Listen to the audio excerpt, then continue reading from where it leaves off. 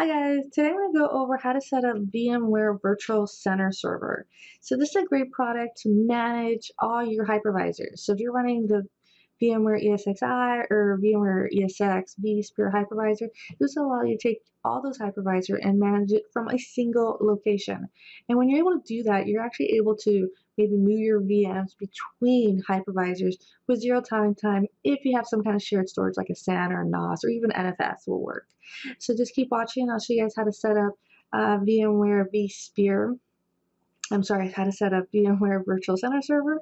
And it's really easy setup. You go ahead and run this in a Windows environment. And actually, honestly, you can run it in a VM on one of your hypervisors in your existing uh, virtualization environment. So you don't have to buy a brand new physical server to actually run this. So just keep watching and I'll show you guys how easy it is to set this up. I'm starting out with a Windows Server installation, Windows Server 2012, clean install, and I'm going to make sure it's fully patched before I continue. The first thing I'm going to do is going to go to the VMware website, vmware.com. I'm going to click on My Products. You go ahead and register here. It's free to register, and we're going to go ahead and download a trial edition of uh, VMware vSphere Virtual Center Server. So this is part of their vSphere package. It's used for management purposes. So this is a great tool for managing our ESXi servers. So we're going to go ahead and navigate through our download options. After you register, it says download now. Then we'll download the trial edition. So I believe this will give us 60 days, I believe, to download uh, and install and run it and test it out. I really like this product, been using it for a long time. So you get a few options here to download. You can download a uh, Microsoft software installation file or ISO. I usually like downloading the ISO. So I'm going to select manual download. It is a fairly uh, large file, so it'll just take a few minutes to download. Once it's downloaded, we're going to go ahead and start our installation. Again, you want to make sure it's fully patched before you continue here because if your system is not fully patched, you will encounter errors during the installation. So I'm just checking here, make sure all my patches have been installed, they're kind of current. So then I'm going to go ahead and go down to find my installed, my download ISO. And I want to go ahead and mount it. So I'm looking at my downloads folder. If you right click on it, you have the option to just mount it on Windows Server 2012. And then you're able to access the files as if it was a CD drive. Very easy. I'm going to do the auto run. Just double click on that and it's going to start the installation. The installation process will ask you a few key questions. So some things you should have in advance is a full DNS entry for the host. You should have a static IP address on this Windows server. You should have a uh, fully qualified domain name that will resolve. Those two things are required to actually do a successful install. So I can go ahead and read here what uh, Virtual Center Server is and any prerequisite software. I'm going to go ahead and select Install and it's just going to take a second and then it's going to ask us some basic questions about um, databases and accepting licensing, all the standard stuff. So it's just going through here. You're going to click next, accept the license, pretty standard stuff so far. Here, this is the first part that's interesting. If this is your first VMware server, select the embedded deployment. This is for your single sign-in login and licensing information. If you have a more advanced setup, you could go on and select the second option. But if you're starting out, the default option is the option you want. Now we're going to select our assistant name. Now this is what I'm saying. You need to have your fully qualified domain name and it has, should resolve.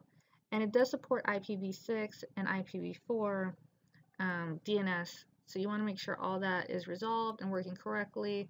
If you don't and restart the system, you will notice your VMware Virtual Center server services will not start.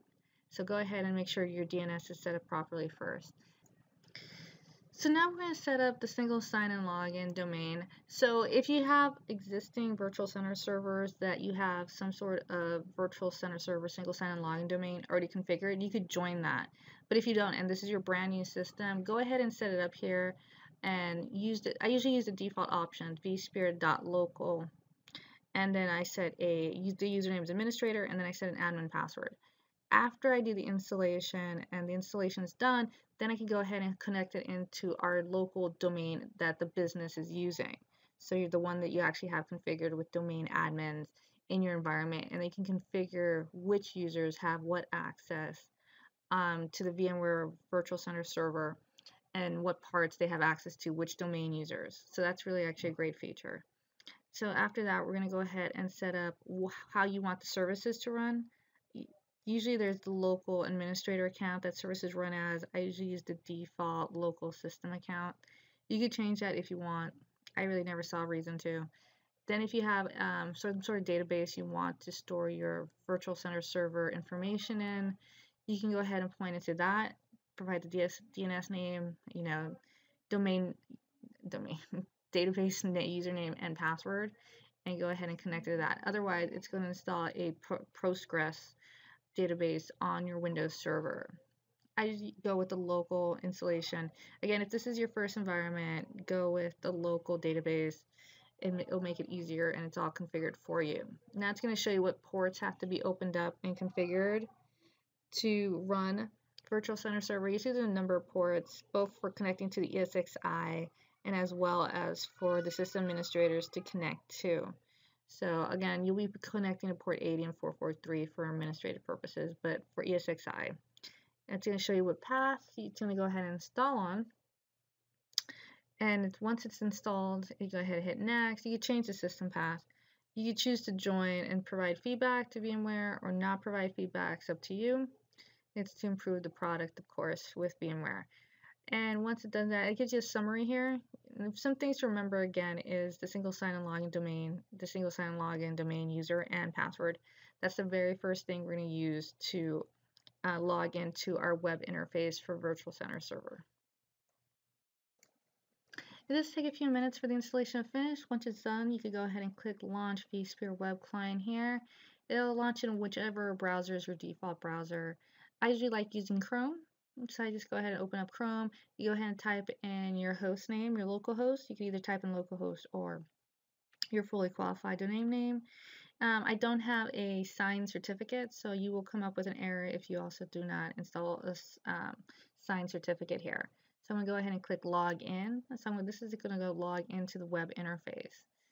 Now, once we do that, this is where we use that domain name, vsphere.local, and then administrator, and then the admin password you set. Um, once it logs you in, it's going to give you a bunch of options for all sorts of great functionality.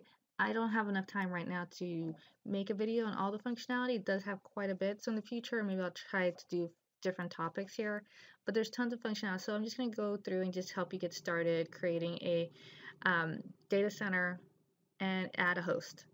So there's a few things you could, you could just browse through here. Let's look at the event logs, the console, different hosts. But really the first thing you're going to do when you install Virtual Center Server is go ahead and create a data center. And once you create a data center, it's a way of organizing your ESXi servers. So if you have multiple ESX or vSphere ESXi servers, you can go ahead and sort it by data center. So I'm just going to add one data center here. I'm just going to call it um, C Center, C Data Center, I'm sorry. And you can do it by geographical region. I've seen some companies do that, or location name or city name, depending how spread out your company is. And now I'm going to go ahead and add a ESXi or ESX um, hypervisor to my data center. So the next thing is add host. That host is your hypervisor host. If you kind of read it through here, it kind of will guide you. It really does a great job of documentation. It will guide you through the next step. So again, I'm going to go, go to that pull down menu, click on host. I'm going to click on add and add a new host. Um, sometimes you might want to make sure the networking works. You want to make sure sometimes I will ping it, ping the IP address of the host just to make sure that I'm, i have connectivity to that IP address. Again, you might want to make sure um, there's no ports being blocked. So if you want to make sure that you're able to access the port that's required and also on the Windows server, the installation should open up your firewall for you to make sure all the ports are accessible. But if you have any sort of trouble adding this, I would check to make sure that none of your ports are being blocked. So again, I'm going to click add host. I click on add host. I'm going to click on my data center that I want to add it to, C data center, and I'm going to put in the IP address or you put in the host name. Again, you should have make sure your DNS is set up correctly if you're going to put in the host name here. And again, this, these all should be static IP addresses for best practice. So once I have the IP address in there, I hit next. You can put in the root password. This is the username password on the hypervisor. So when you installed your ESXi or ESX hypervisor during that installation, it will prompt you for a root username and password. It's showing the virtual machine, so I just have one virtual machine running on that system, on that hypervisor. So again, it's going to go through some of the licensing information. I'm not going to lock it down so you can't make it accessible. So I'm going to use the, I'm going to dis disable this option, but depending on the security of your environment, you might actually want to lock down for security purposes um, who can access what. So that's what you kind of do here. Um, so after you do this, some of the cool stuff you could do with this is put it set it up in a cluster. So you could add multiple hosts and then have a cluster. So you set up some sort of high availability or fault tolerance within your ESXi, your VMware environment. So if you have one host or one ESX server go down, the other one will pick up the virtual machines and start running them seamlessly, which is a great feature in here. So maybe in the future, I'll try to talk about that some more. Thanks for watching guys. I hope you guys give a VMware Virtual Center Server a try. It's a great management tool. I've been using it for a long time in many environments and I find that it works really well. So just subscribe to get updates and I'll see you guys next time.